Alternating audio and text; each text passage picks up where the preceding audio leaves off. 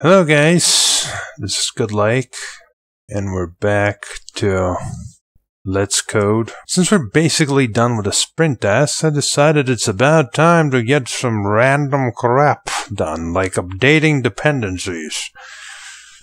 As you can see, that is not a good idea. Alright, so I, I, yeah, I'm just try to upgrade Gradle to 5. Well, it almost worked, except as you can see, there's problems. First of all, I changed to this uh, method. Instead of doing one string line, I changed to group name version because that's the way that Maven repository does it, and it's just easier to copy from there to here than it is, you know, to if I want to add something new, for example. So I, I don't want to always have to change it around. So I'm sticking to this modus operandi. Anyway, I updated all the versions, which wasn't that many. But uh, one thing that I also decided to do is update Gradle to 5.3. Boy! That's not a good idea. Well, specifically upgrading to Gradle 5 wasn't that big of a deal in of itself, but I also rated the Shadow Jar plugin because it's for Gradle 5. That that was one of the main reasons I wanted to upgrade Gradle in the first place, because there's a Shadow Jar plugin up upgrade that's for Gradle 5, and I wanted that. Unfortunately, in their infinite wisdom, they forbid lower versions of Gradle from using Shadow jar of the higher version. So if you use ShadowJar 5.0.0, you can't use Gradle 4 or anything below that. You have to use Gradle 5 or higher. You might say, "Oh, come on, come on, Goodlike you're you rated it to 5.3, didn't you? So what's the big deal? What could possibly go wrong?" Let me tell you what goes wrong. Okay, like, okay, so you think, oh yeah, it's very nice, very nice. Let's see. Okay, so right now, as you can see, I'm using local Gradle distribution 5.3. Let's see our Gradle wrapper. Gradle wrapper uses 5.3 all. Uh, my Gradle task is set to 5.3 in wrapper, which is now no longer a separate task, but just a wrapper. What's going to happen if we set this, the original setup? Hmm, I wonder. Let's see what happens. Hmm. I wonder what will happen. Just, just, just, just imagine what could possibly go wrong in all of this. Oh no! Shadow supports Gradle 5.0 plus only. Please, what the fuck? Right, you know, you know, this is just like, why? Why does this happen? Well, okay, okay, okay. So let me show you what is actually happening by, first of all, I'm going to uh, stop all daemons in Gradle. Which is taking a long time for some reason, motherfucker. Alright, no more Gradle daemons are running. So now we can safely get rid of Gradle here, and I'll go ahead and get rid of Gradle. Right, I'm deleting Gradle from my user catalog, which is a gigabyte of files. Hopefully none of them are to linger. It shouldn't be because we stopped our daemons. This thing isn't running Gradle right now, so everything is nice and dandy. Yeah, some files are locked, you know, it, it happens. Just in case I'm going to close IntelliJ IDEA and do it again. Okay, now I've successfully purged all Gradle files from my computer. What happens if I press refresh? Let's see. Oh, what's this? You're downloading Gradle 4.10 even though I clearly state 5.3 and the properties also state 5.3, IntelliJ IDEA and its infinite wisdom and intelligence downloads 4.10 and runs 4.10. Even as you could see, that was that was the same thing was happening even when I was setting local distribution, so it knows for a fact there is Gradle 5.3 somewhere on the computer. But it's going to download 4.10 and it's going to try to build with 4.10 and is going to fail because Shadow Jar expects Gradle 5.0 only. So the only workaround until IntelliJ IDEA changed their hard-coded 4.10 version is to use 5.3 locally, or use uh, the default Gradle wrapper, which actually works. By the way, yes. But then it will be in the Gradle folder, which will be in the middle of my project, messing up my project structure, which I don't want. So I'm using local instead, and that's why the comment here is just, it'll it'll be here until the version update. Though honestly, I probably shouldn't remove it because you know, IntelliJ IDEA has a shitty pricing scheme. They went to a more subscription-based model. Originally, they they wanted to make it so that you pay monthly, and uh, you don't own jack shit. You stop paying, you stop using their software. And every single programmer in the world just gave them the middle finger. So they made uh, a concession. And instead of doing that, you do get to use a year old version. Someone could still say, well, fuck that shit. I don't want that fucking crap. That's a crappy scheme. And I understand. Personally, I think it's within like that tiny edge of acceptability. Like, like they're on that thin line that slightly more to the wrong side, and I, I'd probably never use IntelliJ IDEA ever again. But because they're on, they, they didn't do, they, they just remained on that edge, so uh, I'm fine with using it, but I can understand that other people may be not fine with using it. Some people probably don't even give a shit about this fucking software. What can I say? I will, in fact, uh, leave this comment here. I'll, I might change it to reflect it more that, hey, if you use updated version, then you can use non-local Gradle. But wait, there's more. OKHTTP internal changes. So what happened to OKHTTP? Not much. I updated from, uh, I believe, where is it? Where are you? There it is. From 312 to 314. Don't look at this. This wasn't supposed to be with this commit. It was supposed to come with the other commit, but oh, mistakes were made. Uh, I changed this because Matchers was uh, deprecated. So another thing that I noticed was that I was using Mockito All, which was severely outdated. It was 2.02 beta or something, and as you can see, we are far advanced from that point. So that's that's fixed. Uh, but the other thing that I changed, I believe, was that I couldn't no longer test using this method because OKHTTP is rewriting their internal shit. They're also starting to use Kotlet, uh, also known as Kotlin. The reason I call it Kotlet because there's like a dish called uh, like that in our country and probably other countries as well. Uh, probably, I don't know. There's probably a better English name, but I like Kotlet because it's basically just uh, grounded meat put into like this spherical flattened spherical shape. And then cooked obviously. So um, yeah that that that's my opinion of the language. It's very accurate so that's why i call it Kotlet of course there's no really wrong languages. There's just horrible ways to write in said languages which somehow against all odds are the official ways to write in most languages.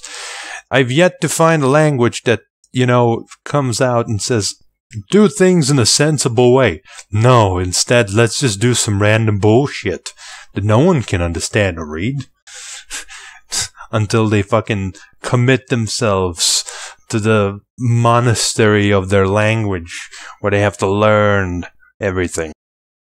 Fuck that. I'm just gonna stick with plain old Java because I mean, like I said, I, I don't give a shit. All the languages are the same to me, honestly. They're writing internal shit, so uh, instance no longer has the put method.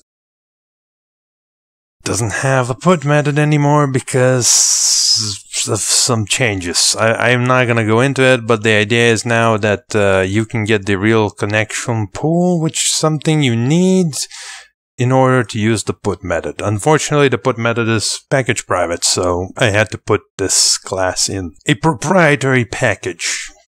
But that's what you get when you don't want to use reflection. I don't want to use reflection. I'd rather just use these fancy schmancy tricks instead. They're just about as effective for these type of cases, but they're much better in terms of compilation errors. If I use reflection originally here, I wouldn't have known that something broke until I ran the tests, and I could have just not done that for some reason. Who knows? Anyway, that also wasn't the last thing. You may have noticed that the uh, font is different. That's because somehow or other I managed to break space behavior on my previous font, which was called just monospaced. I can't even select it anymore. But the point was that it wasn't monospaced. It was doing something along the lines of, let's say, mm, all right, this is exactly the class that actually broke. So imagine if these two spaces didn't exist in the view. So this was aligned from here as well as everything else. But the amount of spaces in here would match the amount of characters in here. So it, it wasn't that the characters were misaligned, but the font of the space was just slightly too small, causing everything to misalign here. That's the insanity that we're dealing with here. So I changed the font and now, well, I don't know, it, it looks fine. I gotten used to it by now, so I'm good. Anyway, after I dealt with the seven plagues, I decided to finally get to work on uh, more stuff. I had done a lot of this uh, already before the seven plagues have fucking started to attacking me, but uh, the main idea was that I wanted to extract the browsing logic, because it's quite a big logical uh, clump inside main about uh, how to launch a browser, how to launch in clipboard or copy to clipboard, and how to make it so that you use a browser first, then clipboard, and then just report something's bad. And I decided to go all out. just, just no holds barred. Just the absolute maximum amount of effort you could put in into designing this mad, mad API that you could possibly do.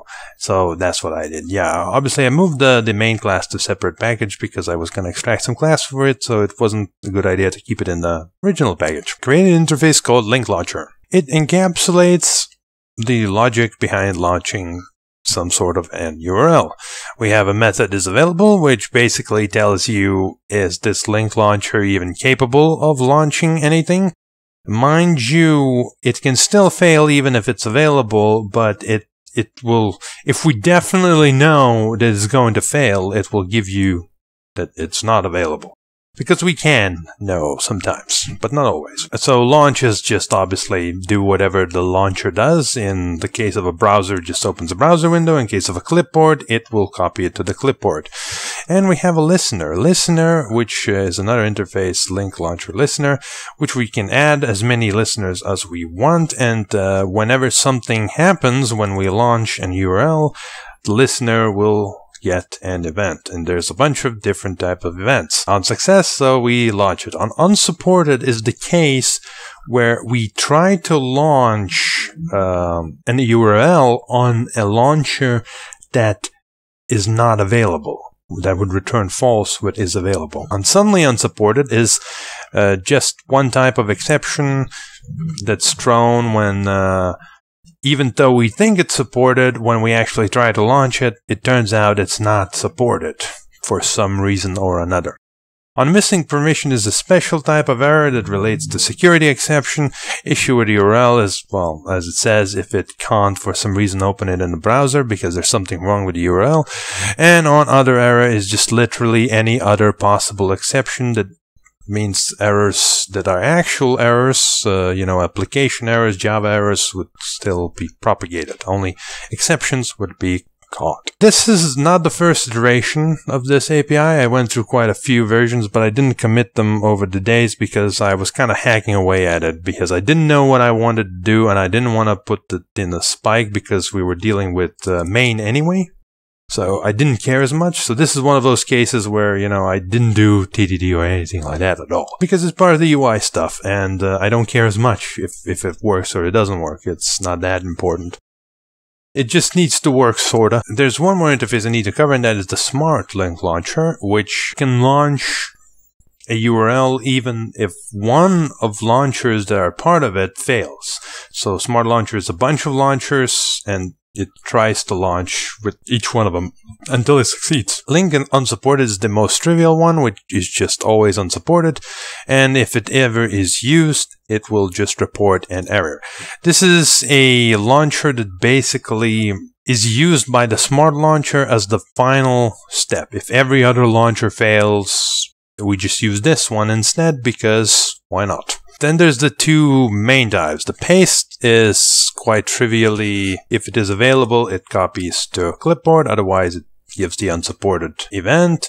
Uh, it's not available if it doesn't have a clipboard inside of it, and by default, we allow a system clipboard. System clipboard is achieved over here. It's a singleton that we extract from the toolkit, basically, which is some Java AV, AWT bullshit. Uh, but this is the way it works. If if it's not headless, which is something that you pretty much have to check for all these kind of things if you want to be safe, uh, then you get the toolkit, get the get the clipboard. If something happens, then we return null. By default, we use that, but for testing, because I want to test this and I don't want to use the system clipboard for testing, we allow injecting it instead. So that's, that's really nice. Uh, the same exact mechanism is done with browser. It's all the same. If we have a desktop, then it's available. If it's available, we browse, otherwise the event. And uh, desktop is also retrieved as a singleton via non-headless environment where it's supported and where it supports browser no less. So not just any desktop, but a desktop that definitely supports browsing, at least at the point at some point. Once again, we have the same setup where we can mock for tests, but we have uh, the default one using the singleton. And in both cases, the idea is really simple. Whatever variables we need, we prepare them and we browse into and, and we use them essentially to achieve our expected result. If nothing bad happens, we give it a success event. If something bad happens, we produce some sort of error event based on the exception, which is thrown by this method usually. Now, one thing to note is originally I had uh, quite a bigger listener and there were no there was every single exception had its own method but i realized that that's not very good because uh, it just exposes too much about the link launcher. If we want to have some other fancy ways to launch a link, that that means we're kind of fucked because uh, think about it, if we just have like really specific uh, things like browser throws IO exception. That's completely useless for every link launcher implementation that is not a browser implementation. So I needed to create a bunch of event types that were just really general but encapsulated the idea and the possible different errors. And finally, we have the Smart Link Launcher, the absolute madman of uh, everything. Uh, it contains a bunch of launchers in itself, and what does it do? Well, it filters out all the known launchers and available launch and non-available launchers, and for the rest of them, adds itself as listener because we want to any listener that's added to this launcher to also apply to all the launchers inside of it so we don't have to add them to these launchers. That would be annoying, but that's not all. We also add the fallback listeners. So for every launcher, we add uh, the fallback listener, and the fallback listener works like this. If you have a launcher and you take the next launcher, uh, whenever the first launcher has any problem, that meaning it's not successful in any way, we just call the fallback launcher. So the first launcher will call the second one, the second one will call the third one, and so on and so forth until the very end. At the end, having the link unsupported, which doesn't need any more fallbacks because it's the very final one. As for the mechanism of the next default launcher, uh, we use an atomic integer. Uh, just in case we want some concurrency shenanigans not to get in our way. And uh, all that we do is just update the index as follows. We basically add plus one and then we uh, mod it by the active launcher count. Active launcher count is uh, from one to size minus one. So size minus one is because uh, the last link unsupported launcher is never actually active launcher. We never want that launcher to be used. We kind of do, but we never want it to be the default one is the real way to actually interpret it because we want to cycle between these launchers unless they're not active and uh, we don't want to cycle into this launcher so we had to reduce the size by one but of course, size could be zero, and zero is not uh, not very good to mod with. I don't think that's gonna work. That's technically division by zero, so you had to reduce it to one, and there's the special case, obviously, of one. And uh, mod one will always produce, I believe, zero. I would assume and as a result, uh, that uh, index would still be zero. And obviously, launching is as trivial as getting the right launcher. And then if that launcher fails, it will call the next one, and so on and so forth. And uh, quite trivially, link launcher is available if any of the link launchers is available. Technically, is all of them actually, except the last one. The last one is always not available. This isn't the final version anyway, so I'm not gonna go too deeply into it. This is just extreme overkill for what we're really trying to do. I would say, like, if you were to look for how much of it was overkill and how much wasn't, I would say, let's, let's be honest here. So, having an interface that handles this generic logic and having also implementations like Link Browser, and uh, link paste is a very good idea. It makes perfect sense. You don't want to have clipboards and desktops in the same class. They do separate things. It's really, really good separation. So this is not over engineering in the slightest bit. Another thing that isn't over engineering is the launcher listener. You may think this is a bit ridiculous, but the actual interface, or rather the method and the idea of adding a listener is not over engineering. Why is that the case? Because in main, as you can see, uh, which uses all of this stuff at this point, but originally what we're doing in main is precisely that. We're not just opening the U URL somehow, we're also outputting something else. And we're doing different things based on whether there's an exception or whether we succeeded and then we might even do something else if there's exceptions.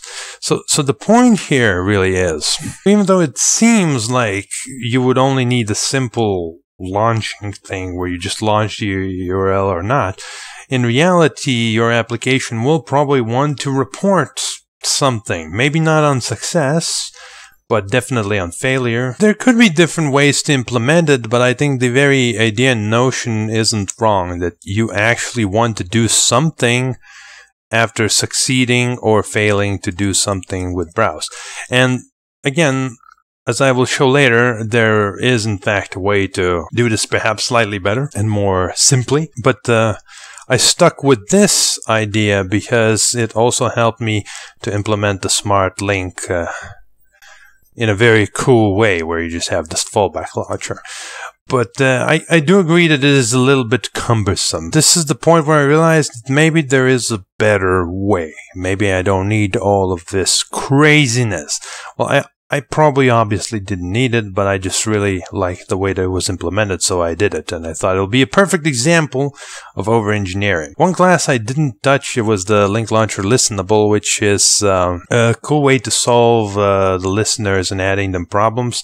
Basically, a listenable is a link launcher that implements the add listener uh, add listener method and also is link launcher listener itself all that it really does is add listeners to some, you know, synchronized list, and uh, then whenever some event happens, it goes through all of them and does that event for every single one of them. But as a result of being both of these, when you use it in a browser, you all you have to do is call the listener method from all this listenables, and it will call on all the listeners, and you don't even see the listener here. That's, I think that's really, really cool. So what, what's this better method? So the better method to be would be to return boolean. And that's really all there is to it.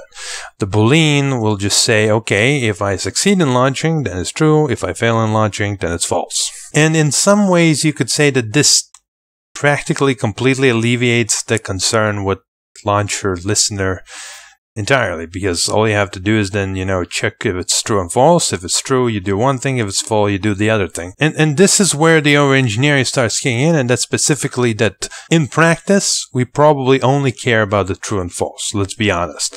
We only care usually if uh, if we succeeded or we failed and we don't really care about all these specific types. So these specific types of all of this this is definitely over engineering.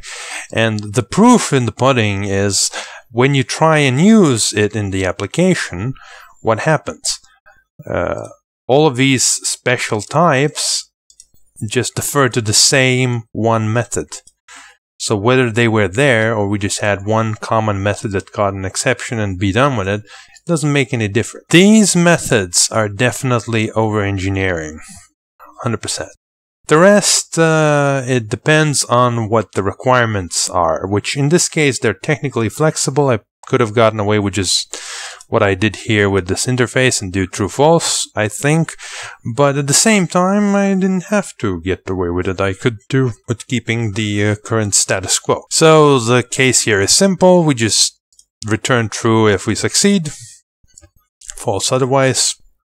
Same logic here, nothing much changes, but the smart form changes a lot. So first of all, we no longer need unsupported. It's completely deleted because it's unnecessary. The unsupported logic is now rolled back into here, and it's here basically in this method. That's that's really all that unsupported was doing actually. Benefits of that is, for example, that we no longer have to care about the size too much.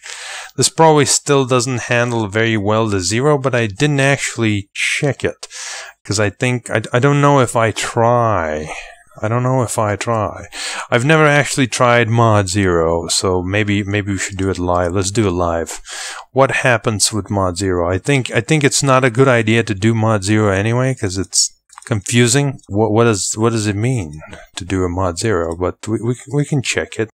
Let's debug this baby up and uh, evaluate some shenanigans. There we go. Evaluate. So let's say 1 mod 0.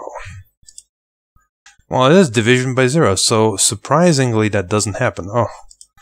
Oh.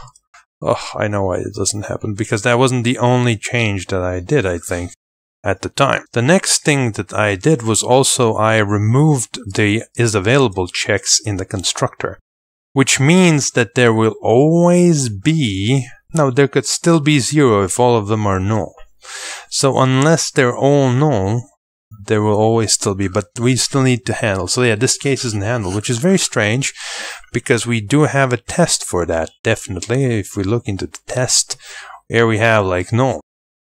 So and we definitely add the listener and then launch it. So there we go. We found a we found a we're doing code review. We found a special case. So uh, do not fail when adjusting launcher with no launchers. So the simple simple thing that we need to do is construct a smart link launcher like this one. So SmartLink launcher launcher. And we want to launcher next default launcher.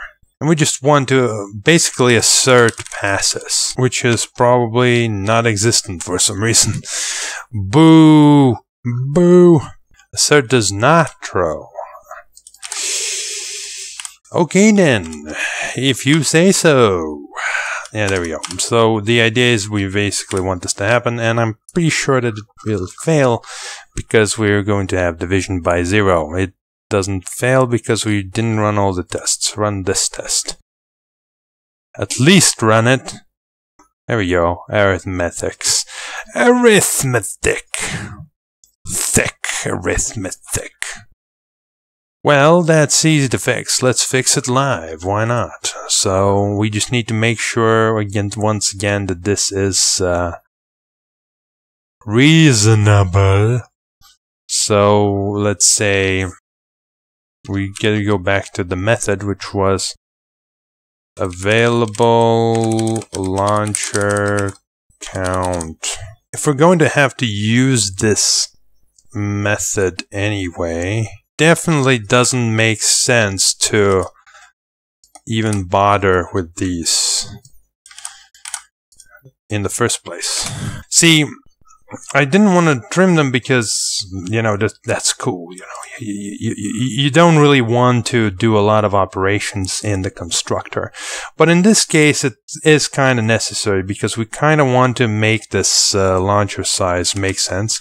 So math max one of this. So uh, available launcher count will always be at least one for no reason, which really this isn't an available launcher count at all. This would be like, um, let's call it available, no sorry, launcher index limit. Let's call it that because that's what it really is. It's a limit on our launcher index. All it does, it ensures that we mod by the correct amount and that we never mod by zero. And there we go. Now this no longer fails. So let's go ahead and commit this and say that I fixed division by zero. Not division, division. How often does that happen to you guys? Division by zero. How often do you just accidentally do that? Doesn't happen often to me, I tell you. Anyway, to get back to where I was, and well, the, the, the idea was quite simple. There's, it still basically remains because the main idea was changing this to Boolean, and then we don't have to worry about uh, the entire fallback launcher mechanism because all we have to do is launch on all remaining launchers, which uh, is basically just take all the launchers, get to the one that we have to use and try to launch them using any match.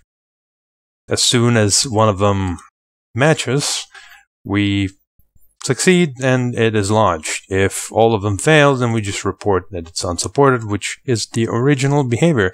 In fact, I don't believe any of the tests broke, or at least very few of them broke. I did add these tests though, so they weren't there before.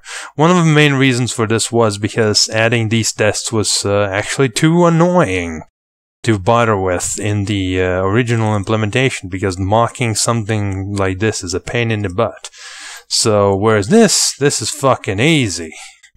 So, this could be one case for TDD, because maybe if I did TDD, I would have never even considered this convoluted mechanism. But knowing me, I would have done it anyway, just would have written the convoluted tests instead. So maybe this is a point against TDD, because now, now I change my mind. Who knows? Who really knows? We'll never know. But what we will know is that next what I did was extract all that crap that I added to main, these methods and this stuff, and uh, put it in the main launcher listener, which really just encapsulates all that logic. There's three different types of errors. Each of them are based uh, on uh, the type, and it just prints out the error into the default console output.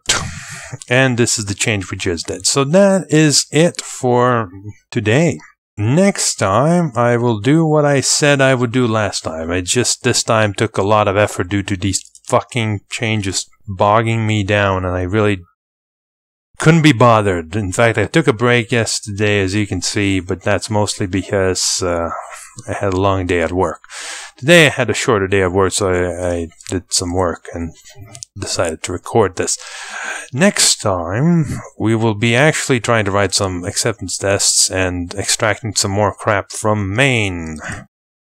And once that is done, boys, uh, that will probably be the last video of the sprint. As you can see, we're on video 14. Video 15 will be technically the last one unless something crazy happens again with Gradle 5 or whatever. The main idea is that on 15 we'll definitely wrap up all of this, and the 16th will be also dedicated to reviewing and demonstrating what I did, which uh, if you've been following, which you probably haven't because these videos get no views, I think.